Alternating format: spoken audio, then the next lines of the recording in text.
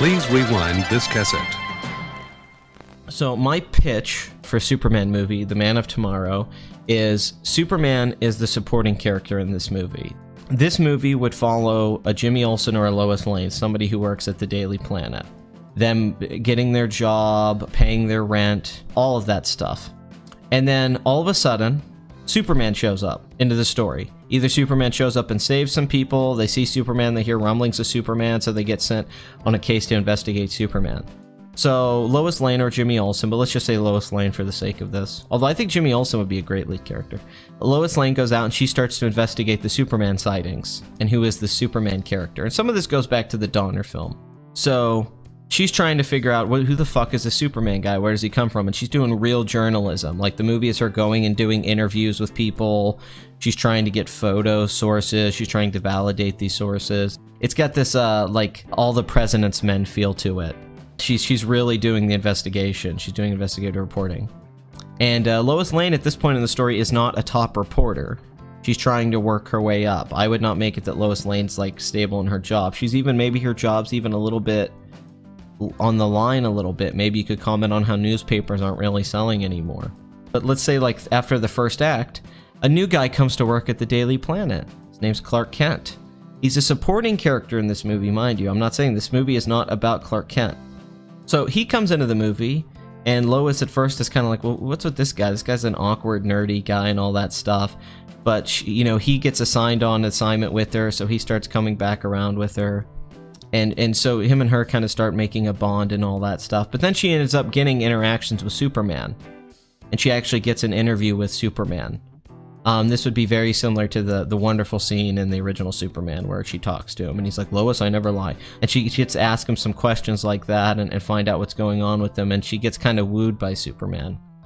So then Lois Lane is kind of in this odd way pursuing this relationship with Superman even though she's kind of scared of him. And is she she's kind of just trying to use him to get a story.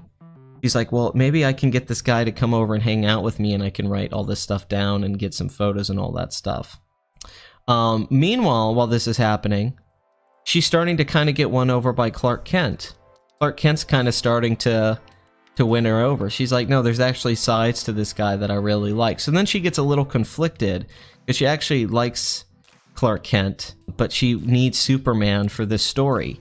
So there's this, it be, kind of becomes a love triangle movie, and it turns into something like the Philadelphia story, with Superman being like the Cary Grant and Jimmy Stewart being the Clark Kent. So she doesn't really know what to do. So you have these scenes that I think would be very funny where she goes on a date with Superman and then she goes on a date with Clark Kent. And Clark Kent, the audience, we know that he's the same person, but Lois Lane doesn't know he's the same person. Uh, from her from her point of view. So from her point of view, she's in this love triangle and she doesn't really know what to do. Um, but Clark is ultimately winning her heart. So as the story goes on, uh, more more threats start to occur. Let's say a bad guy gets introduced, but really all in the background. Like we see this from Lois Lane's point of view. So like she's watching the news and she sees a bad guy who announces something on the television. So she goes to the scene. So the final half hour of the movie, she goes to this final conflict to get photos. Maybe she brings Jimmy Olsen with her. He's her videographer. He's filming it. She's wondering like, where's Clark? And then they go and they film this big set piece. And it's kind of like the Man of Steel ending, except not as crazy. But it, it's kind of the idea that he had at the beginning of Batman v Superman. But this is when it really turns into Marvels. So at the end, she goes to film this battle going on, and it's all done from like a camera from Lois Lane, uh, from her and Jimmy Olsen. So we're seeing the whole thing from that point of view. So you're getting to see these awesome Superman fight scenes, but it's cut up while her and Jimmy are trying to dodge and hide from collateral damage hauling and not die. She gets a shot of Superman catching somebody falling off of a building and laying them down safely, and it's like, wow, that's amazing. You know, so we get like a whole like 20 minute action sequence, but it's all from this point of view of the camera, much like Marvels. In this story, Superman saves the day. He saves the world. Everything's fine. And even even her investigating journalism, like part of it would be the, the way we would get the Superman mythos is through Clark Kent being a supporting character. He tells her about Smallville and his life there we don't have her go to Smallville and all that shit like in the Zack Snyder movies. He just tells her like, "Oh, I grew up in Smallville. These were my parents." And uh, so we get the final action set piece in the Superman movie, but it's like we've never seen a Superman action scene before. Now, my my idea was that it would create a sense of awe because you're seeing it from that point of view of a camera. and on a ground level. You're not seeing it, which is why I think it worked better in Batman v Superman that opening sequence. Because I think it would be greater for us to see the grandeur of Superman through someone else's eyes. It, it, the idea is to create a sense of awe that you're seeing Superman from her perspective. Uh, to reintroduce Superman to the public, you show it through the eyes of someone else and you see these grand moments. It works so well on Marvels. That's really the inspiration here. That you see the death of Gwen Stacy, but you see it through this guy's point of view and how it affects him, how this affects Lois, and it makes us see the grandeur of Superman. And if she really sees him as the hero and loves him, it would hopefully make audiences see the great things about Superman and love him a little bit more.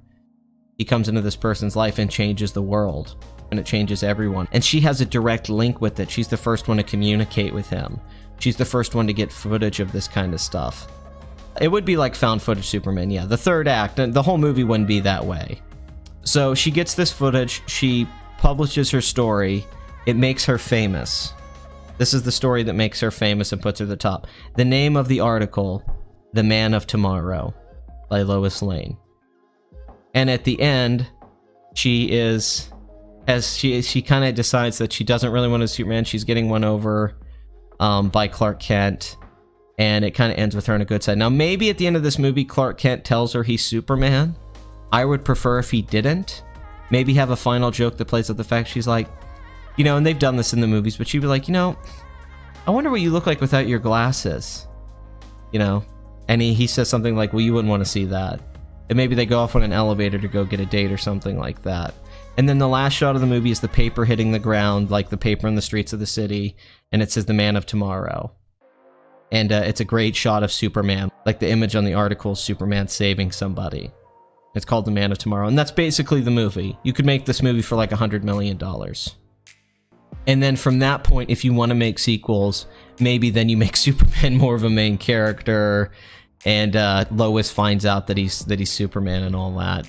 It would it would be a rom com meets a uh, a superhero origin story, but told from someone else's point that they don't realize the origin and all that stuff's already happened. Because we've seen the Fortress of Solitude, we've seen Smallville, we've seen all that stuff. I would like to see the other stuff get fleshed out a little bit more, which is Clark Kent, his characterization, which is one of my favorite things in the Donner movie. Um, I would like to see any action scene or Superman doing something heroic. I would really like to see people react to it and feel that feel that sense of awe of Superman's presence, this god amongst us. Uh, it's sort of like Vicki Vale in Batman 89, except Vicki Vale's not really like the main character in Batman 89. Jack Napier is, and uh, Vicki Vale is just underwritten. In my movie, Lois Lane would be very well written. I mean, and it would be a really likable actress. It would actually, I'm not going to say Emma Stone, but it would be somebody people really like. You really relate to her and it's it's not about like that we follow Bruce Wayne and he's Batman. We're not going to be following Clark Kent. We're not going to be following those characters like a Batman 89. We're just going to be following her. And I kind of like the idea of that stuff in Batman 89. I think that stuff's fun. I just think you could do that stuff better. I wondered if she chooses Clark Kent. She chooses the man because he is Clark Kent. Superman isn't Superman. He is Clark Kent. That's something a lot of. That's why I don't like that Kill Bill 2 speech. It's like, is that how you see Superman, Tarantino? Uh, the Clark Kent and all that isn't fake. That's who he is. He was raised, but that's who he considers to be his parents. He feels like Clark Kent. He just puts on this costume almost like a little boy playing dress up and goes and pretends to be Superman. But he's just a guy. He just is Superman because it's the right thing to do. And then, yeah, then the second film, you open up the Superman universe a little bit more. Then maybe you introduce a big villain and Superman plays more of a, a leading role and then in the third act, you can go even bigger than that and do something like All Star Superman. But Superman for all seasons, she's basically Superman's been gone, I think, if I remember correctly. And she writes, uh, she goes and talks to people that interacted with Superman Clark, and she does this like almost like a photo book of them. And that's kind of my idea of it is we go find out people telling stories about Superman. I saw this guy, like she goes to interview somebody, and she's like, "Can you tell me what happened?" And we kind of just get flashes while they're telling the story and, they're like, you know, and I thought I was gonna die, and then and then he showed up. The god, the god man showed up, and she's like, "What are you talking about? He doesn't even have the name Superman yet. Nobody's really called him Superman yet." Tell me about the God Man. Why does he wear the cape? Yeah, that that stuff that stuff could work. He he he lifted a car. What do you mean he lifted a car? He lifted the car, but went in the air. That doesn't make any sense. She doesn't believe it. She's a skeptic, really. But then she starts to get like too convinced and then then she starts seeing superman. At first it's kind of just rumors because he's trying to keep his identity kind of hidden. There'd be no religious imagery my superman. In fact it would be a little opposite. It would actually be she's kind of a non-believer. She's skeptical of superman because you can't say in the movie she's an atheist or anything like but but then she gets won over. It makes her less skeptical and cynical. Let's say even cynical that lois has kind of become a cynic and then Superman kind of changes her life a little bit in Clark Kent to be like, oh, maybe the world isn't a bad place. Maybe people aren't so bad. I think that'd be a neat little movie just called The Man of Tomorrow. And it's all about that final, like, five minutes and what it really represents. That we're now in the dawn of Superman. In the early part of the film, nobody's really seen Superman fly. There hasn't been anyone recording it.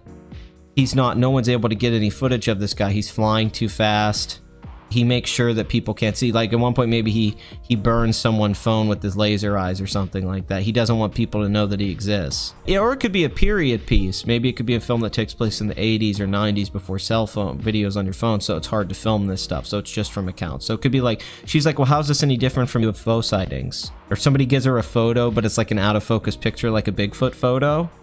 And she's like really? You want me to really believe this is a guy flying? And she's like i could tell you how i could make this photo but but she just she just isn't into it yet. She's like, you're putting me on this stupid story about a flying guy. Are you kidding me?